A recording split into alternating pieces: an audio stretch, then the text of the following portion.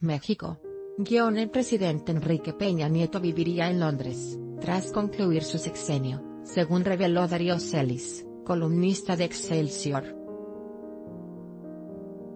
El analista agregó que el actual titular de la Secretaría de Relaciones Exteriores, Luis Videgaray cambiaría su residencia a la ciudad estadounidense de Boston, donde va a trabajar para una firma de asesoría política y lobbying. Esta versión contradice el pronóstico de que Videgaray trabajaría para BlackRock en Nueva York. En días pasados, el columnista Salvador García Soto, dijo que el presidente Peña Nieto planeaba vivir en un rancho al sur de España, al menos durante el primer año posterior a su mandato. A finales de septiembre Enrique Peña comentó durante el informe de gobierno de Alfredo del Mazo Maza, que al finalizar su sexenio planeaba vivir en su natal Estado de México.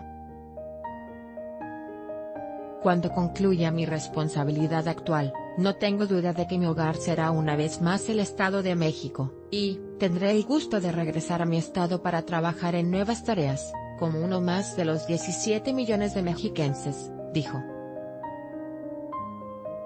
Información de Noticias.